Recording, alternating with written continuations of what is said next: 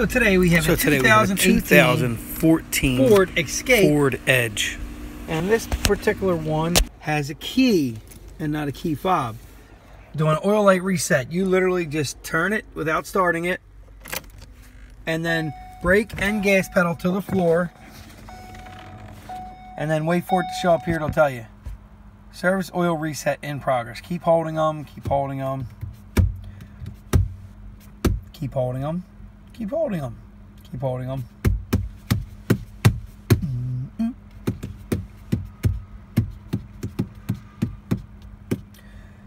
And we should be done now. Okay, let go.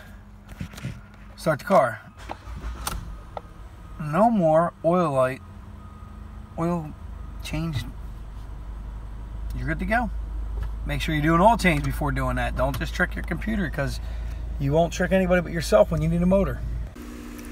Please like and subscribe to my page for some more